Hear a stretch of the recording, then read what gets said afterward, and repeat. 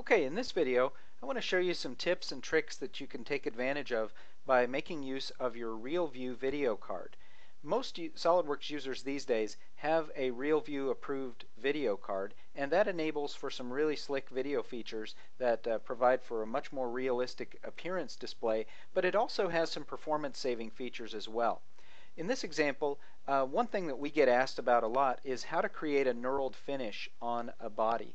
And rather than actually creating little cuts and indentions, uh, which could really bog down the system by creating a lot of unnecessary faces and geometry, the thing to do is just go to your Appearances tab in the task pane, go to the Steel uh, Metal uh, in the metal category, go under steel, and you'll find a number of different metal textures. One of them is a knurled texture. So all we do is just drag and drop the metal texture on top of the cylindrical surface, and I just want to drop that on a single face.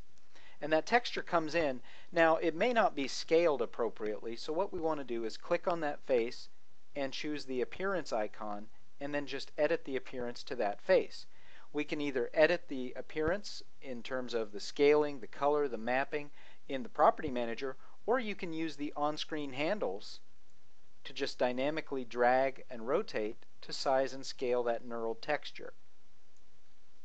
And now that looks really nice and it doesn't cost any overhead on the system because we haven't actually created any geometry. We've just added a textured finish to the model. And sure enough, that'll show up in a drawing as well if we place a shaded view. Let's take a, look at another example.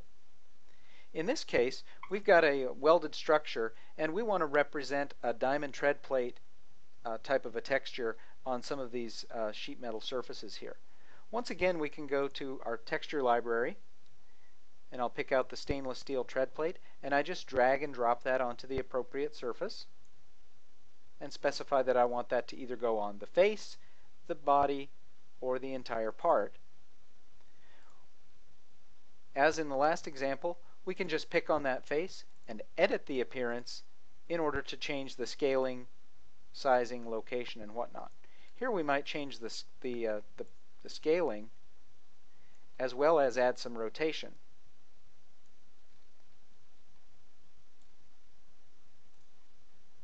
So you can see that does a really nice job of adding that, that uh, diamond tread plate type of appearance to that face without actually creating any geometry or adding any overhead. Now one special texture that we have that's a real view appearance, you'll find not in the steel category under metals, but rather if you go down to the miscellaneous category and go to real view appearances only, you'll find an option for a cosmetic hole pattern. Cosmetic hole patterns are very useful when you have large objects that have an immense number of holes, like a perforated plate, for example. So I'll double click on the hole pattern, and then I'll just go pick on this face as my hole pattern boundary, and then by specifying the spacing of my holes, the size of the holes, and I even have some different seed shapes that I can use, circle, square, diamond, and so forth, I can create a cosmetic pattern of holes on that plate without actually adding to any uh, without actually adding any geometry. And we can actually even see through that plate because all we've done is just added a visual pattern to that body. And so that's just done with the real view texture with the cosmetic hole pattern. And that too will show up in a drawing. One last example I want to take a look at is to use a chain link texture. So here I have some grass and I have this surface body.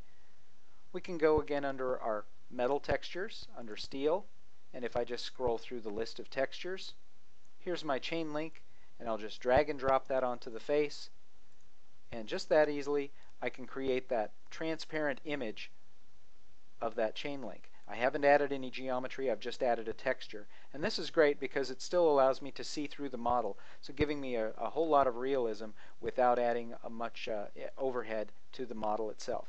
So those are some, some good examples right there of using RealView textures to convey realism on your models.